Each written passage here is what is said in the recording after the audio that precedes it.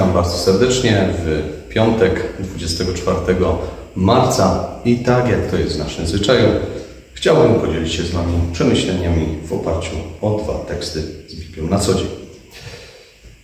Pierwszy z Jeremiasza z 35 rozdziału. Tak mówi Pan. Ja zaś przemawiałem do Was nieustannie i gorliwie, a nie usłuchaliście mnie. Oraz drugi z Ewangelii Łukasza z 11 rozdziału. Jezus mówi: Błogosławieni są raczej ci, którzy słuchają Słowa Bożego i strzegą go. Moi drodzy widzowie, drodzy słuchacze, fragmenty, które odczytaliśmy, są fragmentami e, bardzo mocno napominającymi. Pewnym sensie nawet wypominającymi takie podstawowe, zasadnicze błędy, jakie w gruncie rzeczy każdemu z nas być może przychodzi popełniać. Patrząc jednak na szerszy kontekst, to zwłaszcza tekst z Łukasza to jest jeden z moich ulubionych tekstów. Dlaczego? Ponieważ e, pada w takim dość ciekawym sąsiedztwie. Na początku są teksty, które mówią o Jezusie odpowiadającym na oskarżenia, że działa mocą złego, a kiedy już kończy tak jakby polemikę e, i wytyka błędy w myśleniu, to przechodzi do mowy także o, co tu dużo mówić, wyganianiu złych duchów. I tam pada ostrzeżenie, że kiedy wypędzony zostanie jeden, to należy uważać, bo po czasie błąkania się na miejscach bez wody, może on powrócić, poszukując z powrotem domu, zabierając jednak ze sobą także i siedem innych duchów, i tak stan tego, który został oczyszczony, staje się potem jeszcze gorszy. Oczywiście mówi, dlaczego tak się dzieje, ale zaraz potem pojawia się kobieta. Kobieta, która e, z takim charakterystycznym, ja tak sobie to wyobrażam, e, być może nawet i uniesieniem mówi błogosławione łono, które Cię nosiło i piersi, które ssały. Ssałaś, przepraszam.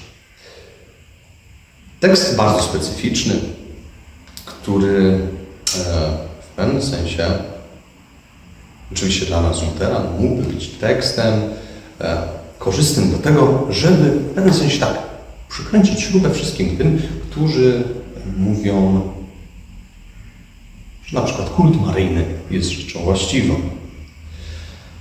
Tylko, że ten tekst nie tylko wchodzi w polemikę, słuszną polemikę z takim zachowaniem, ale mówi coś o wiele więcej. On tak naprawdę polemizuje już sam w sobie z naszą ludzką naturą do tego, żeby tworzyć sobie pewne bożki. A bożkami są nie tylko osoby, są nie tylko um, kulty miejsc, drzew, osób. Nie. Bardzo często naszymi bożkami może być również wyobrażenie, jak mamy żyć, jak mamy postępować. Ja sam staję się wtedy sobie Bogiem. Mimo, że słyszałem, mimo, że znam, także i ja, protestant, mogę czytając Słowo Boże, nawet nie spodziewać się, że faktycznie będąc uwolnionym przez Boga, sam zostaje wystawiony na pokuszenie być może tych siedmiu duchów, a może one powinny przypominać właśnie te e, siedem tak zwanych grzechów głównych. Może jestem wystawiany właśnie na takie pokuszenie, żeby komuś tutaj przykręcić śrubę, stawić i pokazać, słuchaj, ale przecież jest napisane, błogosławieni raczej ci, którzy słuchają Słowa Bożego i szczegą go, a sam zapominam. Cóż te Słowo mówi? Zestawienie fragmentu Jeremiasza i Łukasza dla nas powinno być lekcją. Dla nas powinno być takim e, impulsem do zastanowienia, że wielu przed nami z dobrej woli chcących wysławiać Boże imię także błądziło. Zastanówmy się więc w oparciu o te słowa, to zostawiam Wam, to zostawiam sobie, czy i we mnie nie ma tego czegoś, co było pewnym bożkiem, podczas gdy powinienem raczej słuchać Słowa Bożego, szczec go, a nie żyć według tego, co myślę, że jest słuszne i właściwe. Chociażbyś nie wiadomo jak był i nie wiadomo jak byś była, chociaż nie wiadomo jak ja bym był pobożnym człowiekiem, każdy z nas powinien się zastanowić, kim jest i czy wysłuchuje Bożego Słowa. Pomódlmy się.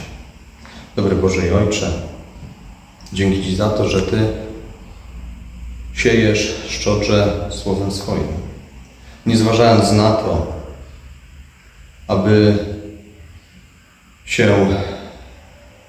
Słowo nie rozsiało w miejsca, do które nikt nie zaglądał.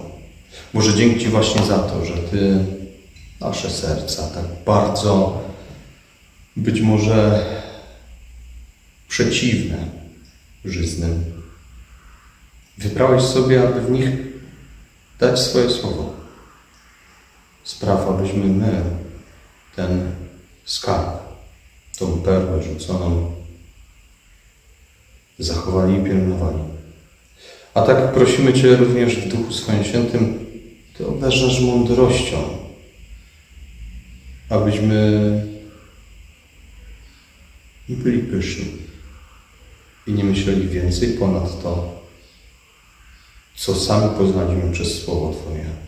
Abyśmy się nie szczycili swoją mądrością, abyśmy nie dali przystępu też tym bożkom, które sami w sobie tworzymy. Może te, Ty tak nasz chroń i prowadź. O to Cię prosimy w Jezusie Chrystusie, Panu naszym. Amen. Spokojnego dnia, spokojnego wieczoru, w zależności kiedy to oglądacie. Oraz zapraszam serdecznie na kolejne wydanie naszego codziennika. Z Bogiem.